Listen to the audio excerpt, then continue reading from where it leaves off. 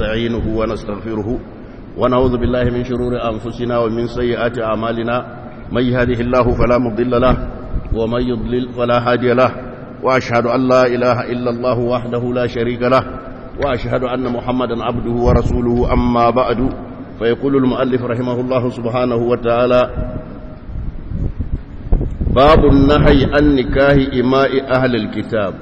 نهي تحريم باب ديزون بيان أن حرمت مسلمي يا أوري بيوة أهل الكتاب amma ya ta ahalar kitabi an ba shi izini amma in baiwa ce ba nasara ko ba yahudiya ba a ce ka aure ba a baka izini ka aure ta ba amma in ya ce an baka izini ka aure ta ko ba nasara ce ko ba yahudiya قال يحيى قال مالك لا يحل أيكون إمام مالك لا يحل baya halatta nikahu amatin yahudiyatin wala nasraniya. Ka auri baiwa ba yahudiya ko ba nasara. Saboda mai ya ce li anna Allah tabaaraka wa ta'ala yaqulu fi kitabihi wal muhsanatu min mu'minati wal muhsanatu min allazina utul kitaba min qablikum fa hunna al imam malik ya ce abin da ake nufi da ayya kenan na yahuda ko nasara. ba bayansu ba. Min al-yahudiyat wan nasraniyat. Wa qala Allah tabaaraka wa ta'ala wa man lam yastati minkum qawlan an yankiha al-muhsanati al-mu'minati famimma malakat aymanukum min fatayatikum al-mu'minati. Sai ma malaka ce ai fahunnal ima'u al-mu'minat. Bayi amma mu'minai. In bayi ne ba nasara kuma nasara kuma ba za a aure su ba sai dai ƴaƴa. ƴa ba nasariya kuma yahudiya za a yi aurenta fa inna ma ahallallahu fi ma nura nikah al-ima'i al-mu'minat ولم يحلل نكاح إماء أهل الكتاب اليهودية والنصرانية قال مالك yace Allah ya halatta aure ma baiwa mu'mina amma bai halatta bai bada izini ga aure baiwa ba nasara ko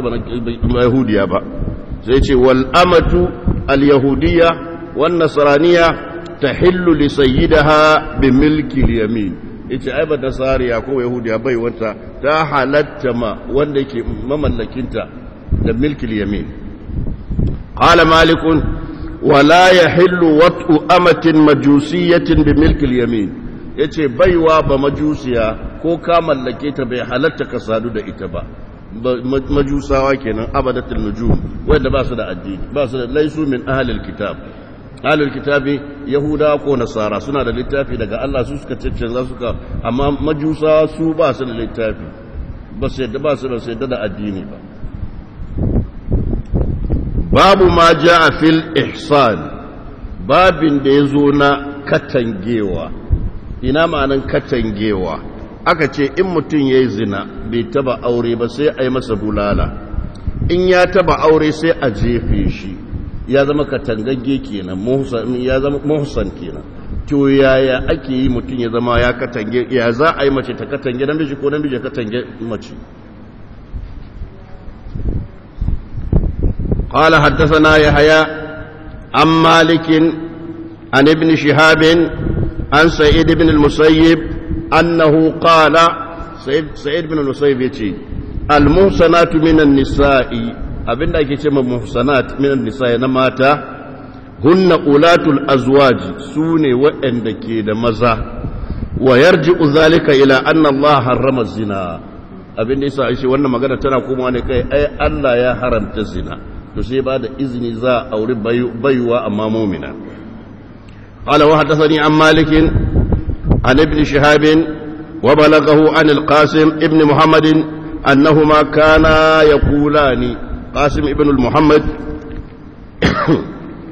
ibn shihab suna cewa idza nakaha al-hurr al-amata in ya auri baiwa mumina kenan ko? Don kafira in kafira an hana.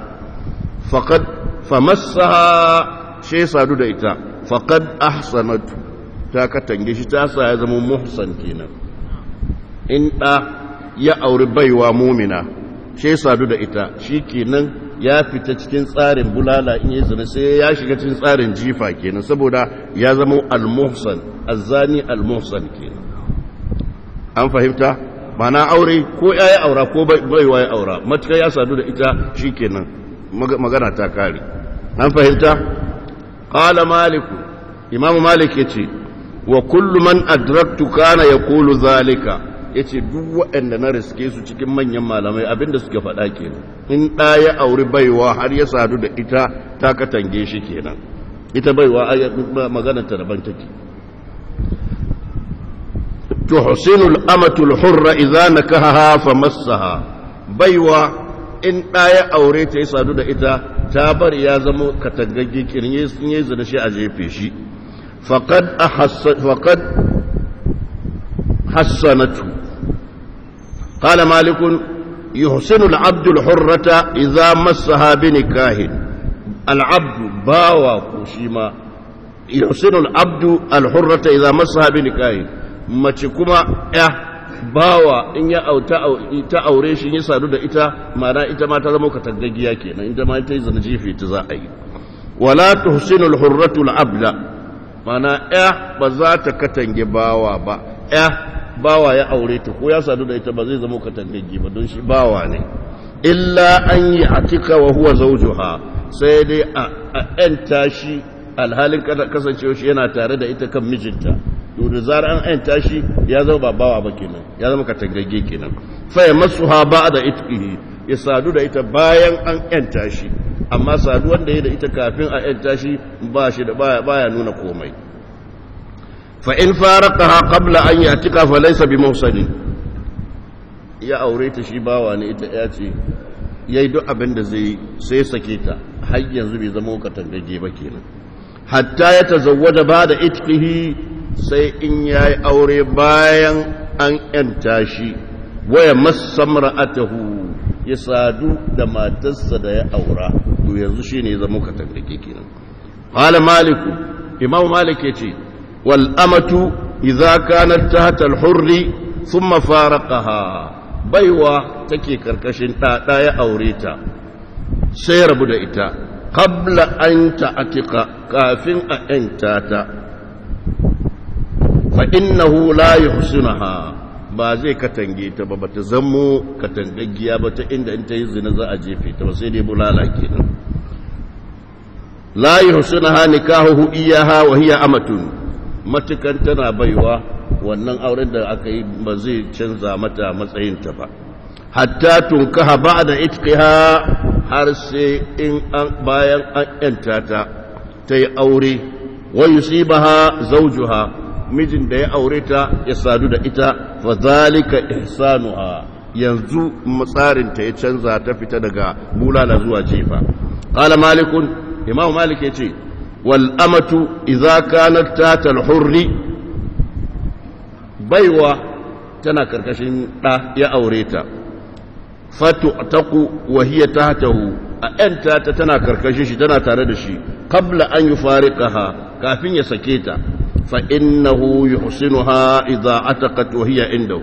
Eh ma'ana ya katanga ya sa ta zama katangagiya kenan tunda an ‘yanta ta tana ƙarƙashin shi tana tare da shi. Idza huwa asabaha ba da an ba da al'itq in ya sadu da ita bayan bayan an ‘yanta ta amma duk saduwan da aka yi kafin ‘yanta ta ba a ba ‘yanta ta bai canza komai ba wa qala malikun imamu malik ya ce wal hurratun nasraniyya wal yahudiyya ya ba nasariya ko ba yahudiya ba nasara ko ba yahudiya wal amatul muslimatu da kuma baiwa musulma yuhsinna al hurra al muslima idza nakaha ihdahunna fa asabaha an fahimta ko ma'ana baiwa musulma shine take dai yake daidai da ya ba nasariya wurin wannan hukunci an fahimta babu nikahil mutu'a babin da ya zo na sahabai suka tafi da manzon Allah sallallahu alaihi wasallam yaki suna nesa da iyalansu matansu sai abin ne iya musu nesa suna sha'awar mata suna buƙatar mata. Sai suka ce ya manzo Allah za mu za mu ala hala nahtasi mu rage abin nan din mu to sai manzon Allah ya fahimci cewa waɗannan suna buƙatar matan su kuma suna nesa da su. Shari'ar musulunci yana kula da haƙƙin kowa ne. Wani abu baya tawaye haƙƙin wani. Duk sa'an da kaga wani abu ya tawaye haƙƙin wani wannan tsarin ɗan adam ne. Allah madaukakin sarki bayi duka bayinsa ne shi ya halicce su. Shi yasa in zai hukunci hukunci ɗaya yake yi. An fahimta? In ana yakinta da addinin Allah aka je jihadi. Sun je jihadi ne amma shari'a bata manta da tabi'an da Allah ya saka jikinsu ba. Wannan sha'awa da dan adam ke da shi a cikin jikin shi baiwa ce daga Allah. Ita ce sha'awan ita ce sanadiyar rayuwa ta ta tafiya.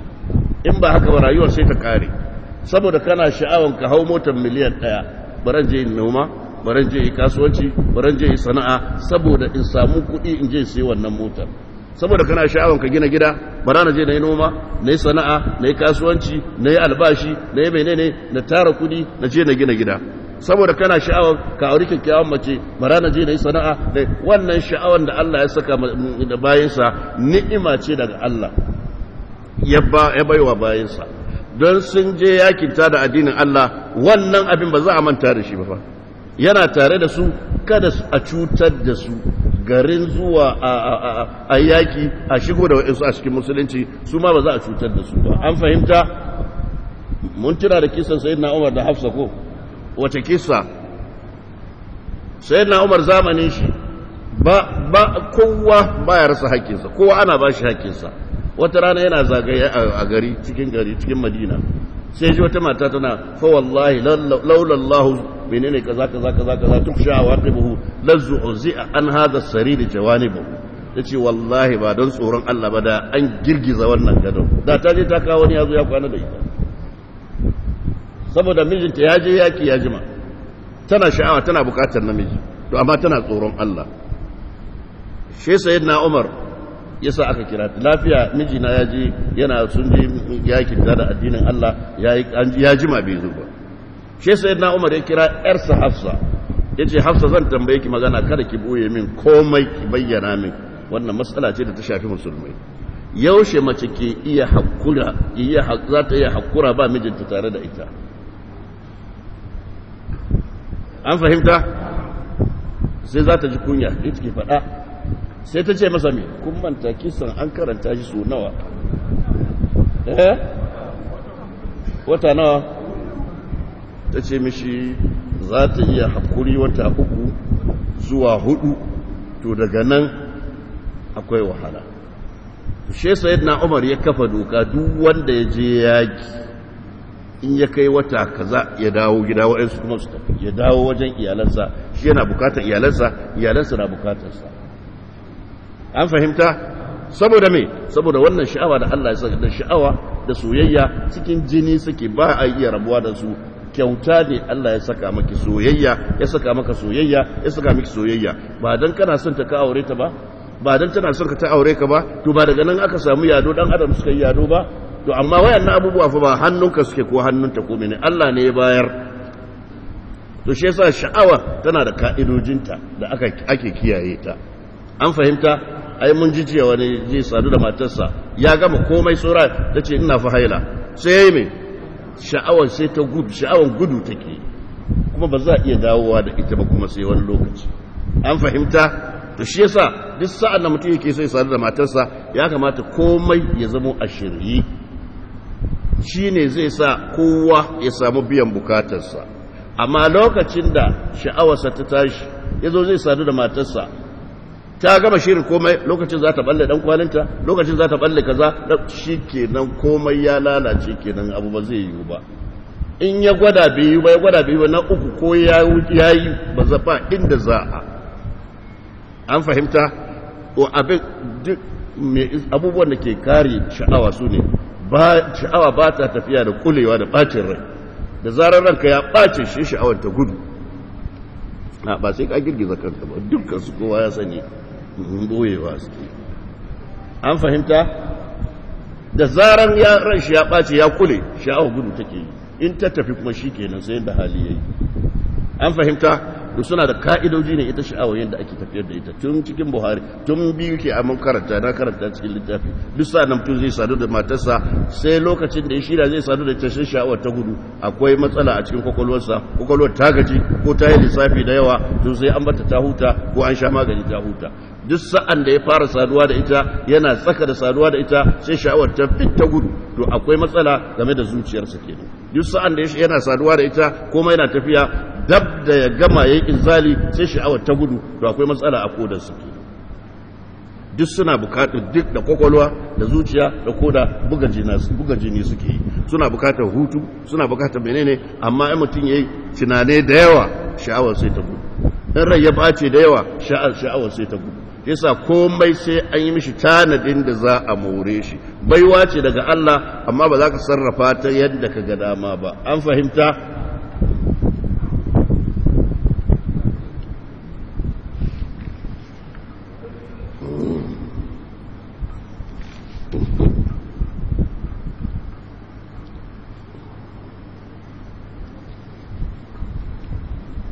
Nikahin mutu'a kenan ko?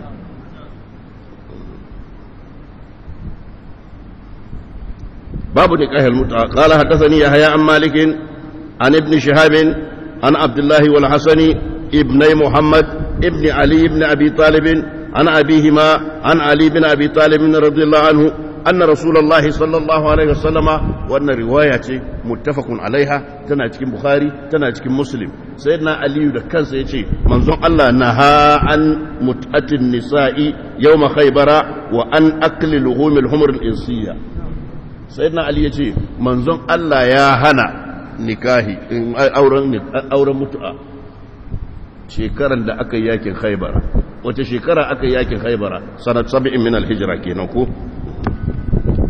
shi yasa duk wanda zai magana nikahin mutu'a wallahi tallahi sun zuciya yake eh nikahin mutu'a malamai sun tabbatar da fasikan zinaci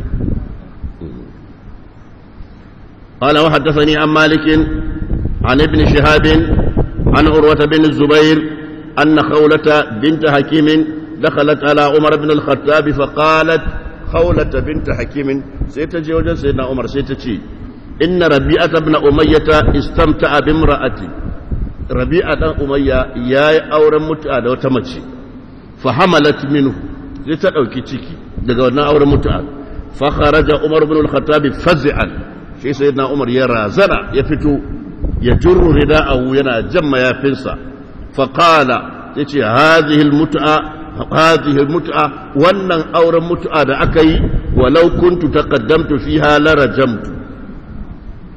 Da matsalar ta zo gaban shi jifa zai zai jefe shi ne saboda sun yi zina kenan. An fahimta? To shi yanzu shi a suka ɗauka suna tallata abin nan. Don tanti ne wannan suka tashi masu wa'azi masu cewa su ne wane ne da wane ne. Ai in za ka bata mutum kada ka buɗe masa kafar da zai samu shiga. Ai shi a suna auren mutu'a. Na ce kada ku kuskura ku bayyana wannan akan in kuka faɗi wannan za su samu kasuwa. Eh? Za su samu kasuwa. Zuwa za su maimakon ka je ka yi zina ka zo mana ka shiga mazhabin mu shi'a ka yi aure gobe ka rabu da ita ka yi aure sati ɗaya ka rabu da ita. To me mutum yake so? Kowane sati ko kowane wata kullu ya ta caccanzawa. Wannan ya halatta. Na ce wannan fada cewa ai shi'a na auren mutu'a wallahi za ku buɗa musu kasuwa ne. Da haka suka janye mutane da yawa. Da yawa. Sa'annan kuma ya tabbata su ba ruwansu. Ba su da tsabtar don mutum ya yi tafiya wani shi a yi je kwanan ginan shi da matar shi wannan ba wani abu ne a wajen an fahimta? ihe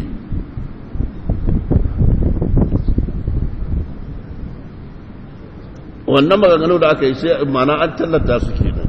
Aka sa mutane mutane kowa ya san ba abin da yi su wannan matsala fitina ce mace fitina ce ga namiji. Sai in an bi tsabtatacciyar hanya shine ke zama alkhairi har hanya shiga aljanna. An fahimta? Allah madaukin sarki ba zai sa maka abu kuma ya hana ya hana kai yin amfani da wannan abun ba. Ya saka maka sha'awa sai buɗe maka kofan aure kofan mana kwarkwara. Ba haka ba ne ba? Ya haramta zina ya haramta liwati to Allah ya takura maka kenan? Bai takura maka ba. Duk abin da Allah ya baka yafi abin da Allah bai baka ba fa. Duk abin da Allah ya baka. Abinda ya hana ka ɗin nan ba rowa ba ne ba rashi ba ne ba keta ba ne ba gazawa ba ne. Annabi Musa mai nema? Arini anzur ilayka. Qala lan tarani walakin anzur ila al-jabal. Fa in istaqarra makanahu fa sawfa tarani. Abinda ya nema? Sai Allah ya ce mishi ya Musa khudh ma ataituka kun min ash-shakiri abin da na baka shi zaka karɓa. Abinda ban baka ɗin nan ba bar shi ba. Ba rowa ba ne ba keta ba ne ba zalunci ba ne ba kaza kaza ba ne a'a bai dace da kai ba ne ba za ka iya ba. Ba za ka iya ba. Duk abin da kaga Allah ya hana ka sai ka gode ma Allah. Abinda ke kawo damuwa shine kai ga abin da kake so. A cikin ilimin Allah kai ka san wannan abin alkhairi ne gare ka? Ba kuɗi kake so ba. Mutum nawa suka samu kuɗi zama musu masifa da bala'i? Ba mulki kake so ba mutum nawa suka samu mulki zama musu masifa da bala'i? Allah madaukakin sarki yana iya mutum azaba da talauci yana iya mutum azaba da wadata da mulki duk abin da Allah ya ga dama yi yake. An fahimta? Shi yasa to sai ka ƙyale Allah abin da Allah ya baka ɗin nan shine yafi maka. Wanda kake so ɗin nan da Allah ya nufe ka da wanda ya fi iya san alkhairi ne gare ka zai baka eh dukiya da kai duk halittar da Allah ya ba su dukiya bila adadin sai Allah ya talauce eh? Allah bai baka ba din saboda rowa ne? Saboda keta saboda zalunci? Saboda babu ne? Allah ya halice ka ya duk abin da Allah ya hana ka kalla ka gani. Imani da Allah ya baka zan musulmi din sa ya kai? Aikin mai kai Allah ya baka. To Allah ya baka abin da yafi abin da baka samu ba.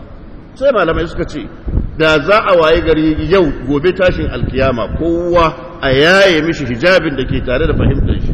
Da kowa ya ga cewa abin da Allah ya yi ɗin nan shine daidai. Saboda Allah cikin sifofinsa akwai sifofi guda uku. Hikima da ilimi da adalci. Hikima Allah ba zai taba yin abu babu hikima ba. Ilimi Allah ba zai taba yin abu akan jahilci ba. Adalci Allah ba zai taba yin abu akan zalunci ba. Shine malamai suka ce da za a waye gari ranar tashin alkiyama Allah ya yayi hijabin da ke cikin fahimtar mutane ko kwalan mutane. Da ashe mace ta yi murna ta kusa yin tsalle ashe daidai Allah ya zaba mata da ta zama mace ɗin nan. Da sai namiji ya yi murna kafin ya yi tsalle ashe daidai Allah ya zama shi da ya zama namiji ɗin nan. Ashe da sai mutum ya yi murna ashe daidai Allah ya yi da yasa wani shine ubana. Ashe daidai Allah ya yi da yasa wacce ita ce uwata. Duk abin da Allah baka ba ma'ana da zaka zo duniya Allah ya shawarce ka ne yaushe zaka shigo duniya? Wace kasa za a haife ka? Allah ya shawarce ka ne wa kake son ta zama uwarka? Allah ya shawarce ka ne wa kake so ya zama ubanka? Wayannan duk Allah bai shawarce ka a ciki ba Allah bai baka dama wannan ba. Allah ne yayi ikon sa akan ka tunda Allah ya ikon sa akan ka sai ka ce Allah da yi ikon sa akai na ɗin nan fa Allah masani ne akwai ilimi. Ba jahilci akai ba balle a ce ayi kuskure. Allah madaukakin sarki ɗin nan ya muttasifin bil hikma abin da Allah ya ɗin nan da hikima yayi ba da rashin hikima ba wauta bace ba. Sa'annan Allah madaukakin sarki ya tasif bil adl abin da Allah yayi ɗin nan shine adalci. To haka zaka riƙe al'amarin har ka je kadu da Allah. Ranan da aka waye gari ranar tashin alkiyama sai a yayi wannan abin da ke cikin tunaninka iliminka da iliminka ko jahilcinka. Ilimi ne sai a ce abin da ke ciki ya yaye wannan da ke cikin ilimin ko cikin jahilcinka. Jahilci ne. Jahilci in ka yadda Allah shine mai adalci shine mai hikima kuma Allah shine mai ilimi to duk abin da Allah kaga yayi ka ƙyale shi yanda ka gan shi ɗin nan haka Allah ke so. An fahimta? Saboda halittar da Allah yayi ya kasa halitta gida biyu. Wani abu wa'in sabubuwan Allah bai baka izini ba bai baka zabi a ciki ba. Zaka gan shi ne yana nan yana maka hidima. Kamar ruwan sama kamar iska kamar rana kamar wata kamar menene ba za ka taba ganin ya canza ba. Saboda haka Allah ya yi shi. To akwai abubuwan ko da Allah madaukakin sarki ya yi su ya baka dama sai ka tashi kayi noma ka samu abinci sai ka tashi kayi kaza sannan kaza yayi kaza sai ka tashi kayi kaza. To nan ake samun tangarda abin da duk dan adam ke da hannu a ciki. Nan ake samun tangarda amma abin da duk Allah ya cire hannun dan adam shi yayi al'amarinsa. Babu saɓani babu rikici babu tangarda a ciki ko miskala zarrati in ka fahimci rayuwa haka zaka fi kowa jin daɗin rayuwa. Haka suka ce law anna abna al-muluki da a ce ƴaƴan masu mulki sun san abin da muke ciki na jin daɗi da sun yake mu akan wanda sun rabu da mulki da kuɗin su zo su yake mu a cikin wannan irin rayuwar da muke jin daɗi a ciki. An fahimta? Amma yanzu za ka yi wannan. Ya za a yi saboda kowa ya yi nisa kowa ya yi nisa cikin shirme da ake ciki. Yaushe za ka ya za a kai ka samu wannan kana gyarawa? To shi ne sai malam mai lahalar ya ce maka awwalu ma ya jibo alal mukallafi tasbihu imani. Ya inganta imanin a gyarta imanin a dawo imanin a kallama a gani mai za ka fi kowa jin daɗin rayuwa. An fahimta? babu nikahil abid babin da ya zo na auren bayi bai ce bayi maza ko bayi mata ba ko قال حدثني يحيى عن مالك أنه سمع ربيعة بن أبي عبد الرحمن يقول ya ji rabi abin abdurrahman malamin sa kenan yana faɗin cewa yankihul abdu arba'a niswatin wai bawa na da yancin yayi aure aure mata hudu Qala malik wa hadha ahsanu ma sami'tu fi zalika ya ce wannan shine abin da yafi kyau cikin abin da na ji qala malik wal abdu mukhalifun lil muhallil. Yace akwai bambanci tsakanin bawa da ya aure don ya halatta maka ka saki matanka saki huɗu kuma ka fitinu da ita ya ta fitinu da kai. Kana kuna son ku koma kuma shari'a ta hana. Sai wani abokin ka ce zan je in aure ta na sake ta na halatta maka ita. Imam malik ya ce wanda ya wannan ya sha banban da bawa. Bawa yana da yanci ya aure huɗu. In ya aure huɗu mai gida uban gidansa ya yarda aure yayi amma almuhallil wajen malikiya auren batacce ne kenan. An fahimta? In azina lahu sayyiduhu sabata nikahuhu wa in lam yazan lahu sayyiduhu furriqa bainahuma. An fahimta?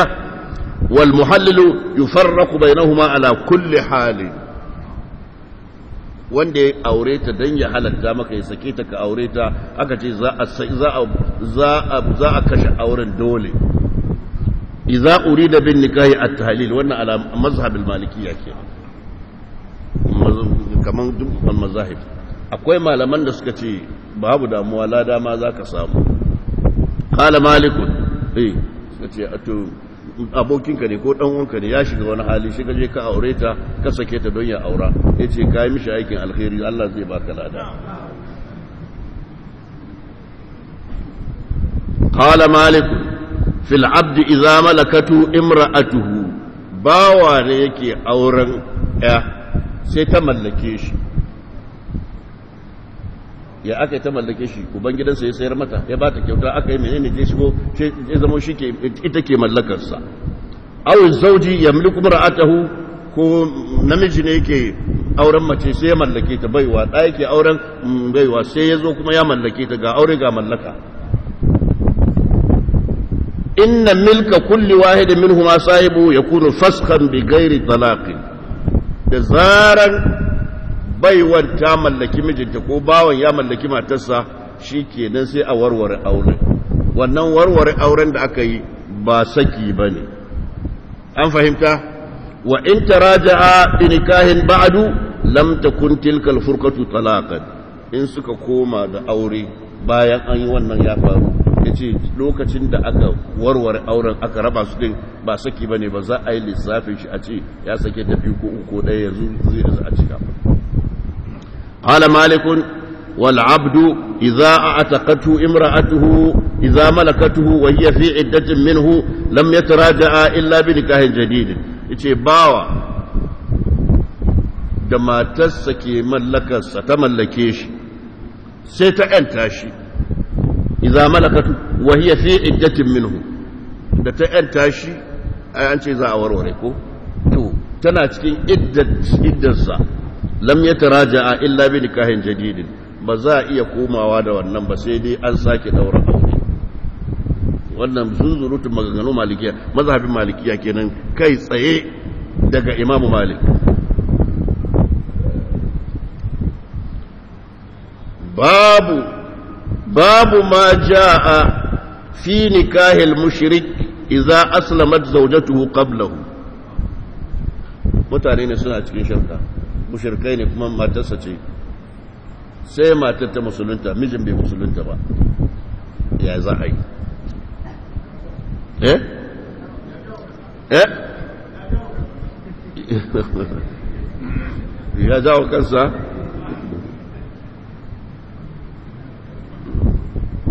قال حدثني عن مالك عن ابن شهاب annahu balagahu anna nisaa kunna fi hajji rasulullahi sallallahu alaihi wasallama mata sun kasance zamanin manzon Allah sallallahu alaihi wasallama yuslimna bi ardihinna wa hunna ghairu muhajirat suna garin su ƙasashen su she su musulunta ba su yi hijira zuwa madina ba wa azwajuhunna hina aslamna kuffaru a lokacin da su suka musulunta mazajensu sun ki musulunta kafirai ne wannan hadisin ka je gida ka maimaita su bisu uku zaka ga amana daga manzon Allah sallallahu alaihi wasallam.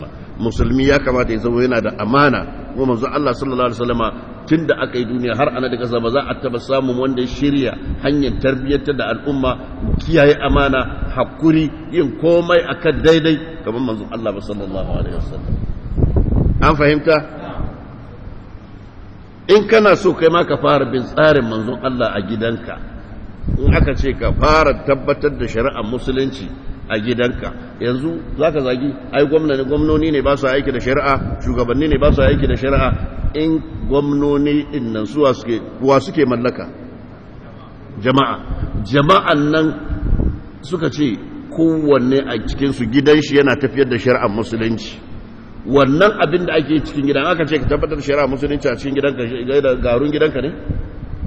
Dawa matarka da 'ya'yanka mutanen gidanka a kai za a tabbatar da shari'a.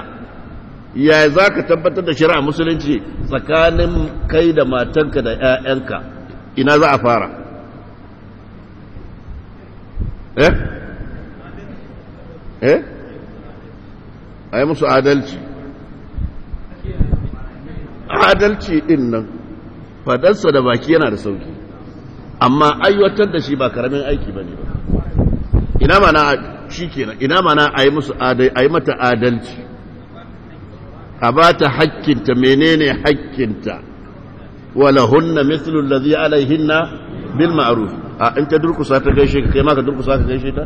An taba ganin wannan eh? An taba an taba yin haka? In ta je ta tuka tuka ta kama kai ma ka je ka tuka tuka ka kawo mata? To ya za a yi?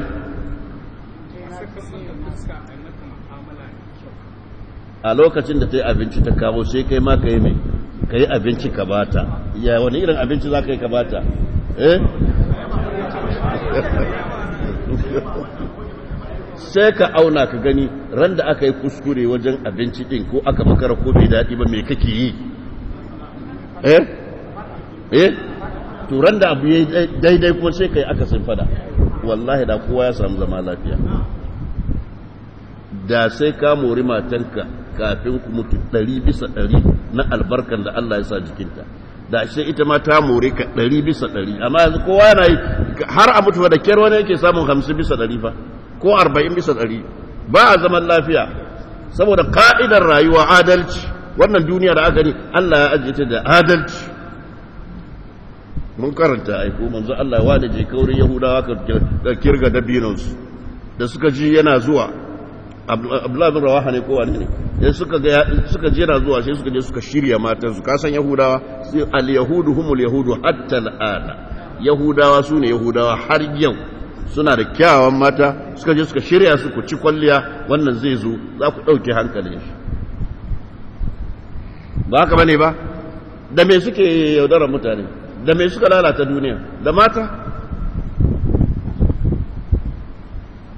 Da dan aiken manzon Allah ya je suka ga ko shauraren matan bai bai ce da ku da matan ku da komai da ku da aladu da karnuka duk ɗaya ne a wajena. Amma ba zan zalunce ku ko kwayan dabino ɗaya ba. Ya ce bihi kamati samawati wal ard bihi galabtumuna. Wannan adalcin da shi sama da kasa suka tsaya. Abin da ya sa kuka rinjaye mu kenan adalci. Adalci to menene adalci eh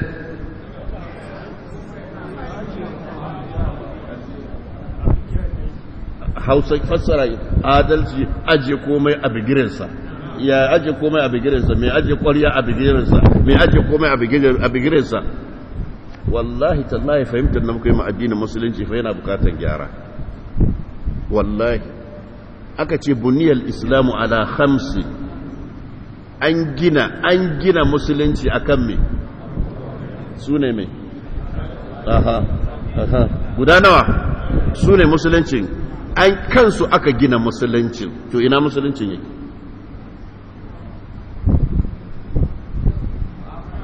Eh? Duk waɗannan da aka ce arkanul islam ɗin na guda biyar. Kowanne da abin da aka kawo maka cike na mu'amala. Addinu addinu al-mu'amala. Waɗannan da aka ce maka su arkanul ɗin fa ba shi kenan daga kayi sai a karɓa ba fa. Man qala la ilaha sai ce me? Eh? Dakhala aljanna? Gashi dan kowa na fada khalisan min qalbihi.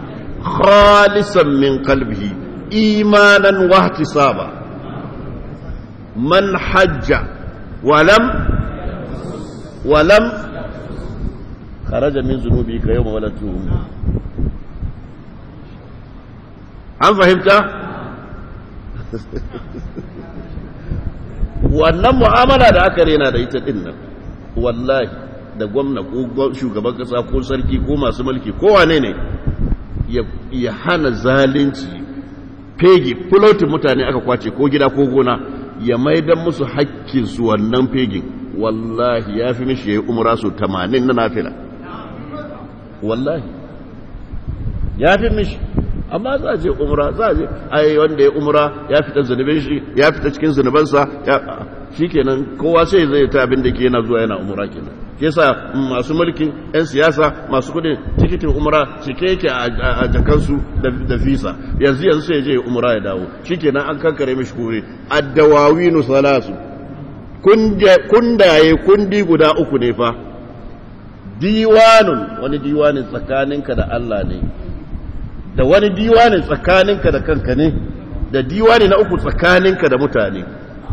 Diwanin da yake tsakaninka da kanka ka zalunci kanka kai ka cuci kanka. Diwanin da yake tsakaninka da Allah shine in kai Allah zai iya gafarta maka tsakaninka da Allah.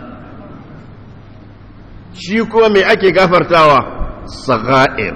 Al-kaba'ir la budda min at-tauba. An fahimta? Amma kundin da yake tsakaninka da dan adam wallahi sai ya yafi kuma za mu gani a je lahira wanda zai ƙarfin hali ce yana yafi. Shi yasa manzo Allah ce innaha nadamatun wa khizyun yawm al-qiyamah duk masu mulki su tsaya su yi adalci a kasansu. Wallahi ko gona ce aka zalunci marayu ko talakawa ka ƙwace abin su ka ba su wallahi ya fi maka daraja wajen Allah da ka je ka yi aikin umra ta nafila so tamanin.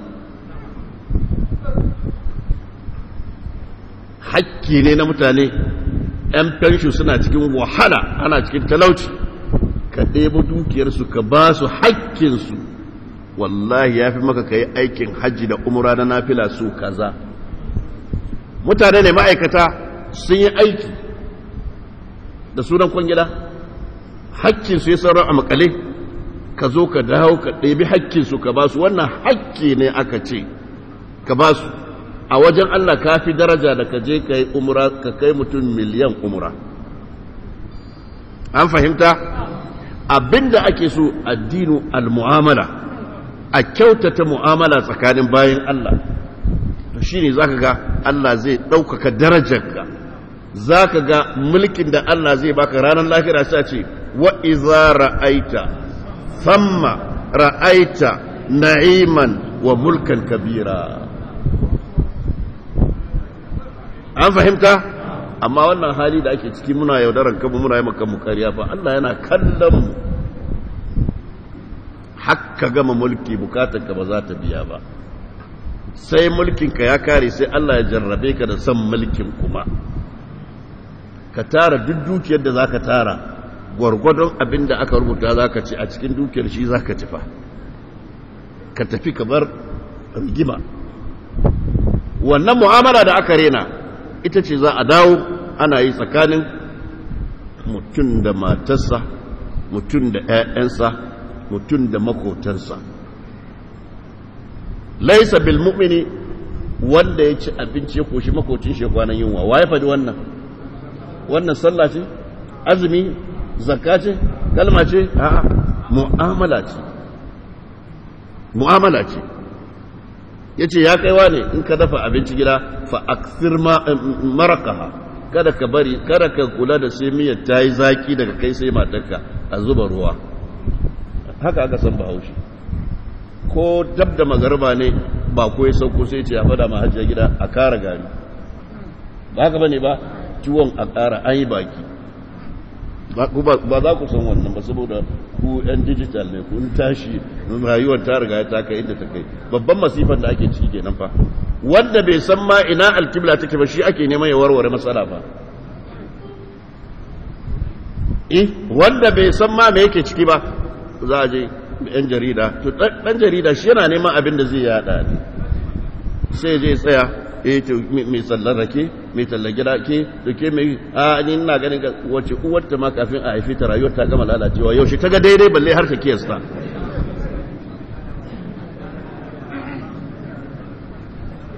Sai a zo gidan radio gidan talabi komai abin da ake so a magance din wanda ake so ya magance abin shi kansa bai san ma ina alqibla take ba bai san me yake ciki ba. Ya iya koko ne ya iya turanci ne kawai yaren bature. Abin da ya iya kenan kawai. Abin da ya kai mu ya baro kenan. Duk wanda ya boko ya iya turanci. An haife shi arewa mana musulunci a mamai sha ba musulunta ya bai san kakai. Kasancewan kana musulmi ko kana da kishin musulunci baya nuna cewa ka san musulunci ba sai ka je ka yi karatu. Walakin kunu rabbaniyina. Bima kuntum tuallimuna alkitaba wa bima kuntum tadrusuna kasance zaka shirya lecture ka je ka baya nuna cewa kai malami ne fa. Wallahi baya nuna cewa kai malami in kai malami ne ji ka masallacin gogo ka buɗe kana karanta da su lahallari mana ka gani. Tafiyar za ta tafi. Don ka iya boko baya nuna cewa kai malamin addini ne. Don kana kishin addini baya nuna cewa ka san addini sai ka wanda girman kai ya hana ka ka je ka kwabe takalmin ka ka zauna zaman tayya ka karanta littafi ga malami ba za ka iya ba. Shi ne za ka zo kana kana cewa kai kuna magana ci gaba da addinin musulunci. Duk abin da ya kawo mana wahalhalu kenan. An fahimci? Buniyar islamu ala khamsin shahadati allah ilaha illallah kaza. Wani duk abin da za ka yi ma addini akwai abin da ya kai jihadi. Eh? To manzo Allah ce shahidi za a yafe masa komai sai mai sai mai bashi. Ko je ba zai mishi sallah ba sai wani bawan Allah ce na ɗauki nauyin wannan bashin zan biya. Manzo Allah ce shikenan magana ta kare gobe ya zo ka biya ya ce a'a. Jibi ya zo ka biya ya ce a'a. Gata ya zo ka biya ya ce eh na biya. Yace yanzu fatarsa ta yi samu sanyi. Al'ana istabratta jildahu.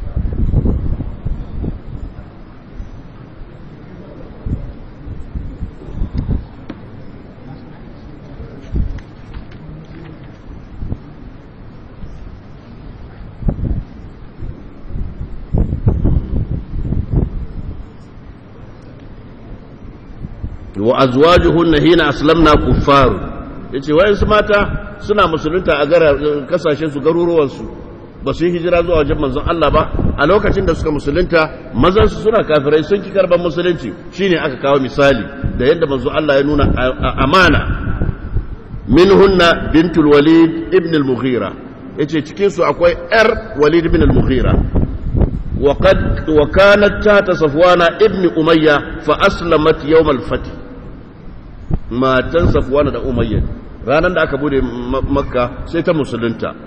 Wa haraba zawjuha safwanu ibnu umayya min al-islam. Sai mijinta ya gudu baya son musulunci. Sai ya gudu. Wata wani aka ce ya je ya kasan yaman. Baya son ya karɓi musulunci ya je kasan yaman. Fa ba'atha ilayhi rasulullahi sallallahu alaihi wasallam ibnu ammihi wahab bin umayr. Sai manzo Allah ya ɗauki dan baffansa ya ce ka je inda yake. Kaga mayafi na ɗin nan larabawa lokacin jahiliya in ana son a tabbatar da lafiya ake so shi zaka aika zuwa Sokoto ko zaka aika zuwa Gizawa ne a je a ce ba zai aje a ce sarki ya ce ko gwamna kowa da za a ga mayafinsa ma ya ce in zo in nuna maka alaman da ke cewa aminci ne zaman lafiya manzon Allah ne ya aiko shi. biridaihi biridai rasulullahi sallallahu alaihi wasallama amnan amanan. Sai manzo Allah ya ɗauki mayafin shi ce kaga ka je ka nuna mishi wannan mayafi na ne ka ce mishi amana an bashi amana ba ya yaudararsa za a yi ba. Lisafwan bin umayya wada'ahu rasulullahi sallallahu alaihi wasallam ila alislami manzo Allah ya kira shi ka karɓi musulunci wa an yakdama alaihi ya ka zo wajena الإسلام منذ الله يكراش ككرب مسلنج وأن يقدم عليه كذو وجينا فإن رضي أمرا قبله وإلا سيره شهرين كذو وجينا أمانا نيجا ما يفينا نبايا كي زاف فدا مكا وانا الأمري إن كاغدا مكا كربا إن بغدا ما بزامو كارا مكا وتابي ككيتنا ني فلما قدم صفوان بن أمية على رسول الله صلى الله عليه وسلم بردائه ناداه على رؤوس الناس فقال da ya zo wajen manzon Allah sallallahu alaihi wasallam da mayafin manzon Allah mayafin manzon Allah na hannunsa ba wanda ya isa ta bashi dalili bai musulunta ba ina mana bai musulunta ba sai mu ga ya kira manzon Allah. Ya ce me? Ya Muhammad sahabi za su yi haka? Inna hadha wahab ibn umair ja'ani bi rida'ika. Wannan mutum ya zo min da mayafinka. Wa za'ama annaka da'awtani ila al-qudumi alayka. yana riya cewa ka kira ni in zo wajenka. Fa in raditu amran qabiltu wa illa sayyartani shahrayn. Na zo wajenka in la yadda da al'amarin da zaka nema wajena in karɓa in ban yadda ba zaka kara min wata biyu na yi tunani. Banda manzo Allah yake da zai wannan. Fa qala rasulullahi sallallahu alaihi wasallama shi manzo Allah ce anzil abawa bin ka sauka mana abuwa bin sauka sauka mana. Baka sauko ba ya zai azabi faqala la wallahi faqala la wallahi la anzilu hatta tubayyana li ba zan sauka ba sai ka bayyana min me yasa ka kira ni menene zaka nuna min na ga dama karba ba ga dama ba karin karba wa qala rasulullahi sallallahu alaihi wasallama bal laka tasiru arba'ata ashhurin ai za a ƙara maka wata hudu فخرج رسول الله صلى الله عليه وسلم قبل هوازن بهنين bai karba ba fa sai tafi unguwarsu ƙauyensu garinsu wata rana sai manzo Allah ya fita zuwa yaki a wajen. Yana da amana kenan. Yana da mai mayafin wa? Yana da amana kenan. Sai manzo Allah suka je yaki a garinsu ƙauyensu unguwarsu fa arsala ila safwan bin umayya yasta'iru adatan wa silahan. Sai manzo Allah ce ku je ku fada ma safwan bin umayya ya bani aron kayan yaƙin sa. Sallallahu alaihi wasallam. Fa qala safwan ataw'an am karhan ganin dama ne ku tilasta ni za a yi sai ina ga dama ko dole ne na bayar ba haushe aka ce ya haƙuri sai ce mai na baka aron kayan yaki na dole ko sai ina ga dama faƙala bal manzo Allah ce ba dole ba ne sai in kaga dama. Fa'arahu al-ada'a was-silaha allati indahu sai ce to shikenan yanzu na yadda zan bayar tunda ba tilasti ba dole ba ne. Thumma kharaja safaru ma rasulullahi sallallahu alaihi wasallam wa huwa kafir. Sai fita tare da manzo Allah. Alhalin lokaci yana kafiri bai musulunta ba. Fa shahida hunainan wa ta'if da shi aka yaki hunain da yaƙin ta'if. wa huwa kafirun wa mar'atuhu muslimatan. Alhalin yana kafiri matarsa tana musulma. Har yanzu auren bai mutu ba tukunna. Wa lam yufarriq rasulullahi sallallahu alaihi wasallam bainahu wa bain imra'atihi hatta aslama safwan. Manzo Allah bai raba tsakanin su ba sai da ya musulunta. Wastaqarrat indahu imra'atuhu bidhalika an-nikah aka maida masa matarsa da wancan aure da suke da shi. قال وحدثني عن مالك عن ابن شهاب انه قال كان بين اسلام صفوان وبين اسلام امراته نحو من شهر من شهر aka ce tsakanin musulunta matarsa da shi musulunta shi kusan wata ɗaya ne ma'ana tana cikin iddan ma kenan in an raba bata gama idda ba ke shi sa za a ɗan jinkirta mishi wata kaman kwanaki ko abin nan da in ya musulunta sai ya ɗauki matarsa ya tafi mun ga hakurin manzon Allah sallallahu alaihi wasallam ko shi yasa manzon Allah da'iman gyara yake so ba barna ba gyara manzon Allah yake so ba ya bata ba yana so maka alkhairi ne ba yana so maka sharri ba ne قال ابن شهاب ولم يبلغنا أن امرأة هاجرت إلى الله ورسوله ابن شهاب يقول بمتبس سامن لابارن بمتبس جن تيوا وتمتي تا مسلنتا ده هجرة زوا منزون الله وزوجها كافر مقيم بدار الكفر إلا فرقت هجرته ما بينها وبين زوجها ya ce duk sa'an da ta musulunta ta yi hijira mijinta yake musulunta sai musulunci ya raba tsakaninsu. Illa an yaqdama zawjuha muhajiran qabla an tanqadiya iddatuha. Sai dai mijin shi ma ya musulunta ya zo ya yi hijira kafin iddanta ta kare an fahimta? Sai a mai da mishi matarsa ba shi an sake daura aure قال وحدثني عن مالك عن ابن شهاب أن أم حكيم بنت الحارث ابن هشام وكانت تحت إكرمة بن أبي جهل. وأنه إتما مزل تشيني إكرمة ابن أبي جهل. فأسلمت يوم الفتح. شيت مسلم ترى بود مكة. وهرب زوجها إكرمة ابن أبي جهل من الإسلام حتى قدم اليمن. مزل تسير قلوا بايا سو مسلم هل يجي كسا يمن. فارتهلت أم حكيم حتى قدمت عليه باليمن. Matarsa ta tashi daga makka ta tafi har kasan yaman. A wajen shi ta kira shi zuwa addinin musulunci. Fada'atu ila al-islami ta kira ta ce ka karɓi musulunci. Fa aslama ce karɓi musulunci. Wa kadima ala rasulillahi sallallahu alaihi wasallam amal fatihi. Yazo wajen manzon Allah sallallahu alaihi wasallam shekaran da aka buɗe makka. Falamma ra'ahu rasulullahi sallallahu alaihi wasallam da manzon Allah ya gan shi saboda tsananin murna wa saba ilaihi farihan wa ma alaihi rida'un. Manzon Allah ya yi me?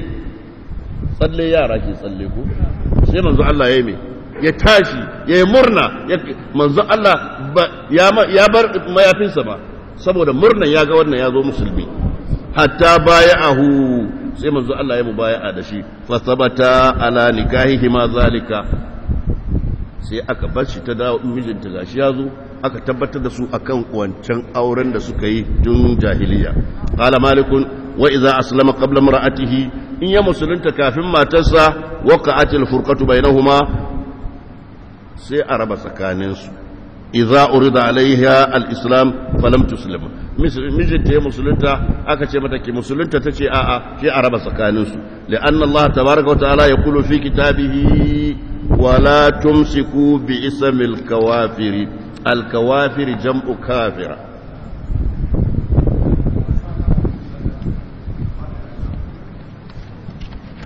za a iya koyi koyon hakurin manzon Allah ko sallallahu alaihi wasallam. Za a gwada? Eh ai saboda wahalar shi yasa zaka samu aljanna shi yasa zaka samu ɗaukaka wajen Allah shi yasa zaka samu kaza kaza kaza kaza. In ba wahala ai ba ɗaukaka kenan. In ba wahala za a samu ɗaukaka ba za a samu ɗaukaka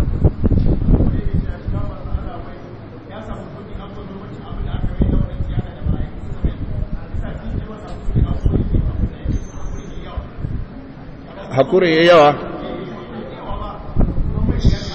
Sai na abubakar shi ma ai masa tiyata ne. Sai na usmanu shi ma ai masa tiyata ne. Wa aliyun wa da ai musu tiyata ne.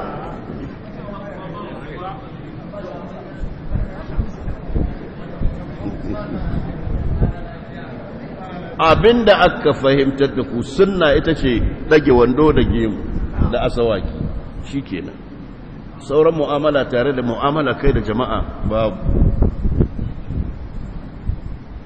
to ina sunna ita ma babu ita اللهم اهدنا فيمن هديت وعافنا فيمن عافيت وتولنا فيمن توليت وبارك لنا فيما أعطيت وقنا واصرف عنا شر ما قضيت فإنك تقضي ولا يقضى عليك إنه لا يذل من واليت ولا يعز من عاديت. تبارك ربنا وتعاليت. وصل اللهم على نبينا محمد وعلى آله وأصحابه وسلم. سبحان ربك رب العزة عما يصفون. وسلام على المرسلين. والحمد لله رب العالمين. والسلام عليكم.